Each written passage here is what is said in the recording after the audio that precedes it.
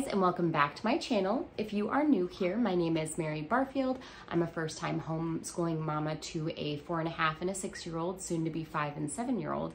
And today's video is going to be a part two in a two video series about how to use Trello and how to use it specifically for homeschool planning. If that is of interest to you, stay tuned.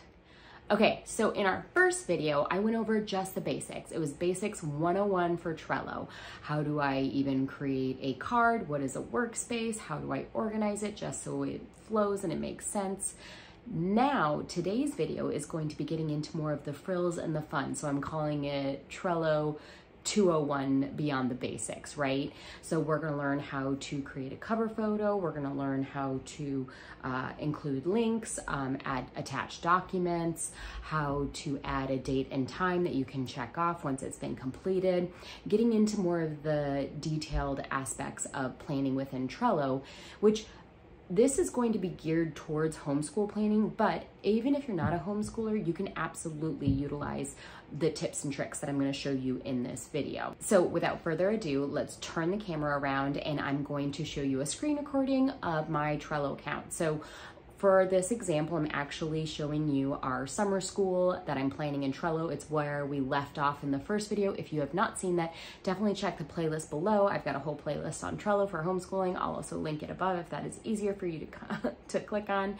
Um, but if you've already watched those, let's continue on into Trello. Okay, if you guys saw my first video on Trello 101 Basics, this board should look familiar to you because this is what we created for my girls' summer school they're going to be doing this year. Uh, you'll see that we had completed the first two weeks of their summer school. We'll probably be doing about five to six weeks.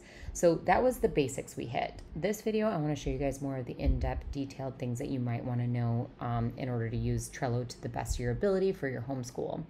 So, one thing we didn't talk about was how to add dates. So, on Mondays, let's say we're going to do their ninja class. I'm not sure if that's the day we'll do it, but I'm just going to show you for the purposes of this video what we're going to do. So, normally what I'll say is ninja at 4:30 and then I'll hit enter. Then I click into that card and right here you'll see a button called dates. So the date of this would be June 3rd at 4.30 and I'll hit save. You can set a due date reminder. I don't worry about that. Um, but this is actually really helpful, especially if you're sharing this with your spouse, so your spouse can see what your activity list looks like for the day, where you're going to be with the kids, things like that. Um, and then I'll hit save. And then what I'll do once I've completed that, I'll check the box either here as complete, or you can do it straight in the card right there. Um, and that just is for your record keeping purposes. Um, but being able to have that is great.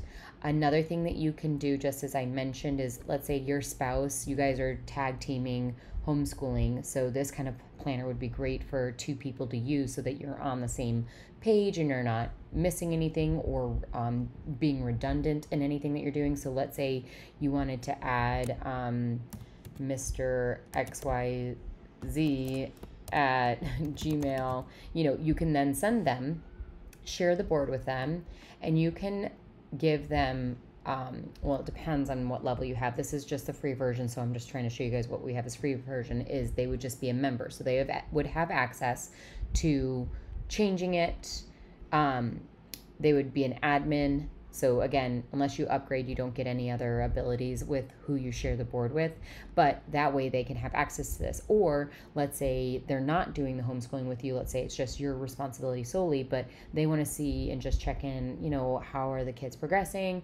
Wait, did my daughter um, or did my daughter go to dance tonight or uh, does my wife have the kids at co-op right now? You know, because we add in those types of dated items, you then can share that with your spouse and they can see where you are. So being able to share with whomever would make sense is really, really convenient. Another thing that I think is super helpful, um, especially for record keeping purposes, is going up here, clicking on those couple of dots, and then clicking activity. You can then see all the activity that you have done, when you did it, what you added, if you deleted something accidentally, if you copied something, just for you to know as you're updating your planner. But also, if you have your spouse on this, they can put a comment on any of the cards and say, hey, way to go, girls, that you completed that science project, or hey, babe, don't forget i remind me i want to see the pictures from this um, you know field trip you guys went on. So you guys can have comments back and forth or if you guys are tag teaming homeschooling then you guys can communicate hey babe we were supposed to read chapter 10 and 11 but we only got 10 done so tomorrow can you finish up 11 and put it on the card for that whatever you were reading? So being able to see the activity at a high level is really helpful as well Another thing that has come in handy for me is being able to filter. So there's multiple ways that you can filter all your your planner here. So you go up here, click filter. You can do it by keyword. Let's say you want to look up something with math um, or you know what lesson did we do you can put the lesson number in there you can figure out oh that was on tuesday june 4th um, or you can search by members let's say that you're you you and your husband are tag teaming homeschooling well, let's say your husband did Monday's work, but you're trying to find something that you did. So you would just say the cards that were assigned to me, I'm trying to find that. And then you can keyword search what you're trying to find that you guys did. Um, another thing that you can search by is due dates. So as we added, you know, that um, Warrior Ninja that my girls do, um, I could search for that kind of stuff. You could also do it by labels. Like, for example, let's say you're homeschooling um, uh, laws require that you submit a reading list to the state every year of what your child read. So, what you could do is you could label all of the reading that your child did. I did read aloud, let's say. Okay, and then what you can do is okay, now I have only read aloud filter here. So, this would be the list. I would put the names of the books and the authors of what my daughter read here. Um, and then what I can do is I can print it. Oh, I'm sorry, I hit the wrong button. Hit these three dots here and I can print it by going down here, print, export, share, and then you would hit um, print right here. And then it would print it out in a long list of what your child has read, and then you can submit that to the state if need be. Something that is super helpful for us, especially with the curriculums we utilize, is being able to directly access videos within this planner. I'm not having to pull out all the different curriculums that I have, the parent guides, because what I do is I just put it all in here and it's a one stop shop for me, which makes it so much smoother when I'm teaching my girls. So, what I'll do in order to add the links is I'll click into one of the cards. So, let's go into this unit study here. And what I'll do right now, we have the image here, we have our checklist for what we need to do for this unit. And what I did before filming was I went ahead and um, got the links from the curriculum we're using and I put them all up here in different tabs. So what I'm going to do is I'm going to click into the first tab. This is one of the videos that we'll need for this unit. I'm going to copy and then just paste the link into here. Let me do another one because there's three different videos for this unit.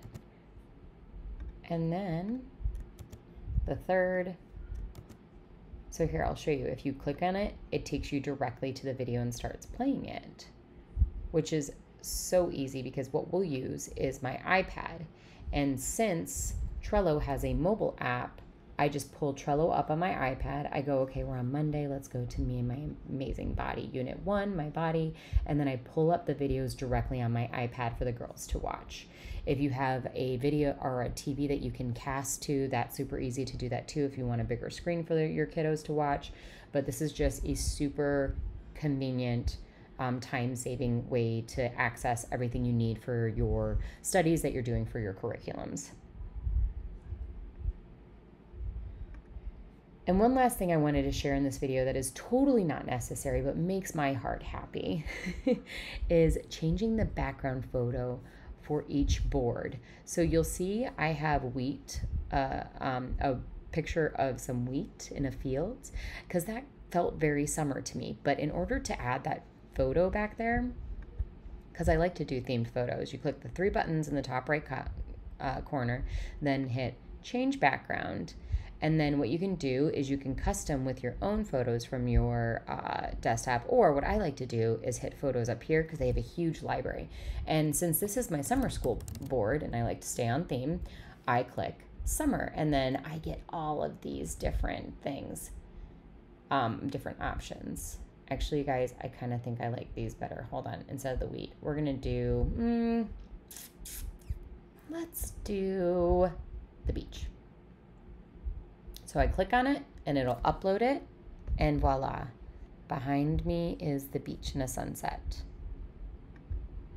So if you take a look over here on the left, you'll see that I have all my other boards for the rest of the school year after summer school is over because we're doing a year around the year world study. And so every board is one of the continents we'll be learning about and then next to it what weeks we're learning about it. But if you go, for example, to my Africa board, I obviously have a picture of um, um, it's like an African safari style picture, um, giraffe. There's some um, bush in the back.